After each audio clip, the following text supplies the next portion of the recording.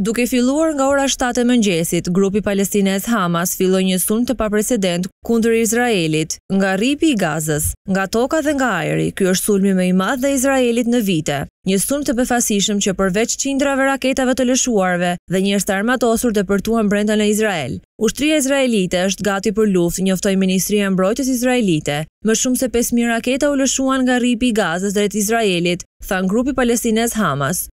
Kryeministri ka thirrur në një takim shefat e sigurisë, deri më tani raportohet për një viktimë dhe pesëmbëdhjetë persona të plagosur. Mediat izraelite raportuan se personat e armatosur kishin hapur zjarr ndaj kalimtarëve në qytetin Sderot, në jug të Izraelit dhe pamjet që qarkullonin në mediat sociale duket se tregonin përleshje në rrugët e qytetit si dhe persona të armatosur me xhipa që enden nëpër fshat. Mediat palestineze raportuan gjithashtu se një numër izraelitësh ishin zënë rob nga luftëtarët.